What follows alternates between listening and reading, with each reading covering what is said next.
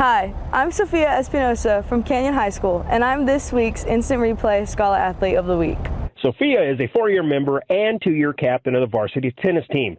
She was named Academic All District three years in a row and received the Teachers Awards in 2022 and 2023. She's a three year member of the National Honor Society and volunteers with Habitat for Humanity and Friday Night Live. Sofia maintains a 3.8 grade point average and is ranked in the top 23% of her class. Sofia plans to play collegiate tennis and major in computer science. Thanks, Sofia, for being Instant Replay Scholar Athlete of the Week, presented by Christus Children's.